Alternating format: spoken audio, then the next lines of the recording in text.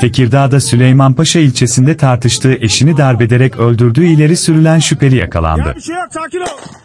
Sakin ol. Ya sakin İl. Emniyet Müdürlüğü ekipleri, 24 Ağustos'ta eşini öldürüp olay yerinden kaçtığı belirtilen zanlıyı yakalamak için sürdürdüğü çalışma sonucu zanlının Karaca Kılavuz mahallesinde olduğunu belirledi.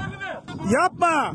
İnsan dinle at şu bıçağı. Ekiplerin mahalle girişinde durdurduğu zanlı elindeki bıçakla teslim olmamak için bir süre direndi. At şu bıçağı dinle insan Ekipler şüpheliyi etkisiz hale getirip gözaltına aldı. dinle. Ya bir şey yok sakin ol. Sakin ol. Ya sakin ol.